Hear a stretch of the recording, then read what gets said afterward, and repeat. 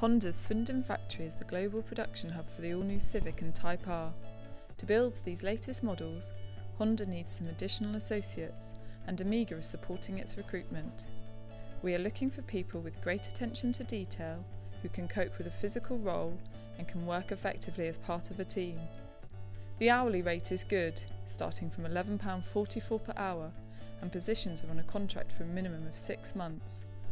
We are running assessment days throughout June, so if you are interested in these roles, please get in touch.